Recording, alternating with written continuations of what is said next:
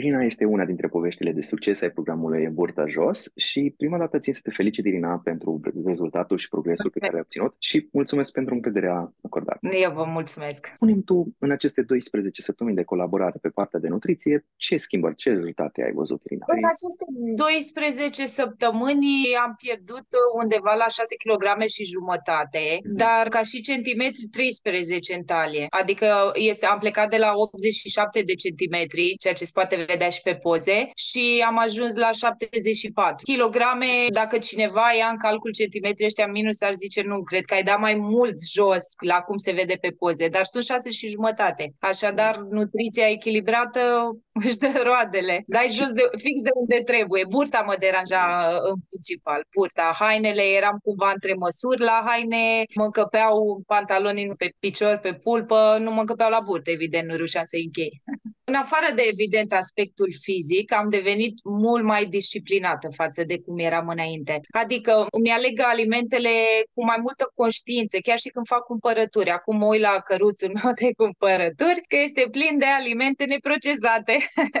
Înainte, ca toată lumea, alimente nepotrivite, iar acum s-au schimbat aceste obiceiuri. Am devenit mult mai disciplinată, mai sănătoasă, mai energică și mental mai liniștită. Mie mâncatul îmi provoca anxietate, uh, mâncam cumva pe fond emoțional, iar faptul că mi-am reglat alimentația mă face să stau mult mai, mult mai liniștită și mă simt mult mai bine cu mine însă. Per total este un plus.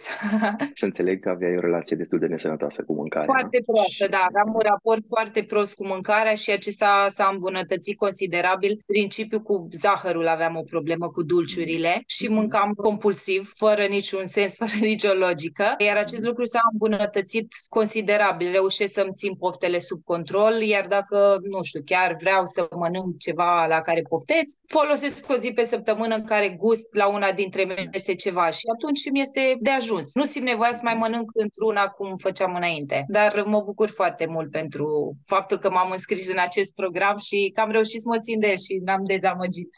Spune-mi, te rog, ce te-a făcut să te alături programului meu, programului Burta Jos, decât să cauți de una singură soluția mai departe sau să cauți în alt loc? Eu încercasem în trecut ca toată lumea, cred că nu există un care nu a încercat diete sau tot felul de chestii așa pe care le auzi sau le vezi pe internet și am dat de un videoclip de-al tău și am început să te urmăresc și cred că puterea exemplului a fost cea care m-a, m-a convins. Eu nu mi-am dorit o dietă, să merg la un nutriționist, am mai mers în trecut, știu cum funcționează, să-mi scrie acolo din pix ceva, dar uh, și restul să urmez sau să-mi calculeze cantități de mâncare exacte, exact un aliment anume. Nu, nu mi-a plăcut chestia asta, să mă simt restricționată, că atunci tind să mănânc și mai nesănătos. În momentul când știu că nu am voie, atunci aș mânca. Și am zis că cel mai potrivit ar fi o persoană care a făcut performanță din sport, care se îngrijește de aspectul fizic și mi s-a părut cel, cea mai logică alegere. Și m-am contactat pe Instagram, am primit răspuns și așa am ajuns aici.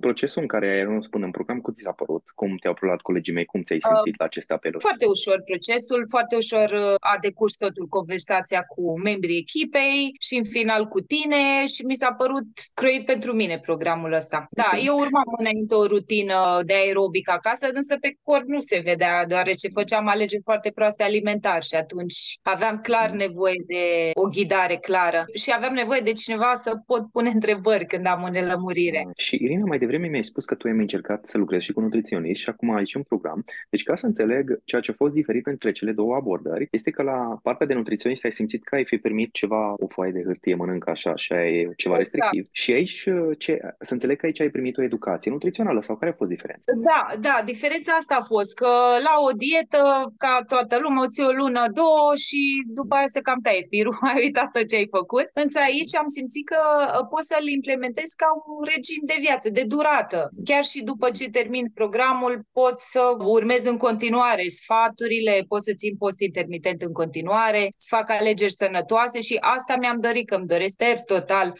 să-mi schimb stilul de viață, să pot fi mai sănătoasă, să mă mențin într-o greutate mulțumitoare toată viața. Nu mi-am dorit să slăbesc că, nu știu, vin sărbătorile sau ai o ocazie, cum face toată lumea, de se apucă de slăbit că urmează o petrecere sau ceva și asta mi-am dorit și asta a fost diferit. Este un regim de viață pe care îl poți urma toată, toată viața, tot timpul. Nu este o dietă. Spune-mi un pic, cum a fost experiența ta cu mâncarea în ceea ce privește gustul, timpul de preparare, sațietatea, digestia? A fost mai bună decât mă așteptam.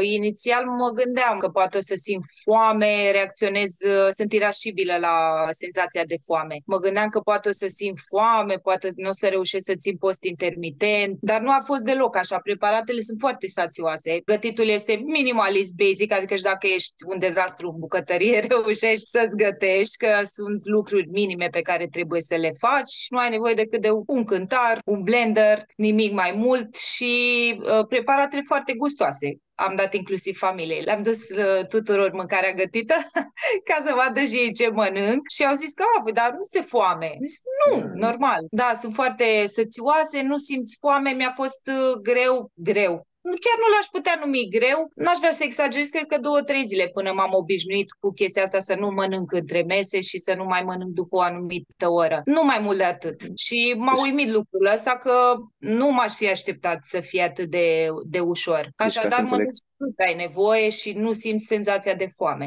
Înainte, Irina, ca să înțeleg, tu mâncai mai frecvent, ciubuleai mai frecvent. Uh, mâncam mai frecvent și îmi dau seama că foarte mult caloric și foarte mulți carbohidrați, zahăr și carbohidrați foarte mulți. Nu mâncam noaptea, însă mâncam cam toată ziua, mâncam când doream. Dacă doream să mănânc dulce, ziceam, hai că mai mănânc o brioș, mai mănânc o bucățică de ciocolată până le terminam. Mâncai okay. emoțional, nu rațional, da? Emoțional, da. Da, nu mâncam okay. rațional. Ce ți-a plăcut cel mai mult în acest program? Cel mai mult mi-a plăcut libertatea de a-ți alege tu.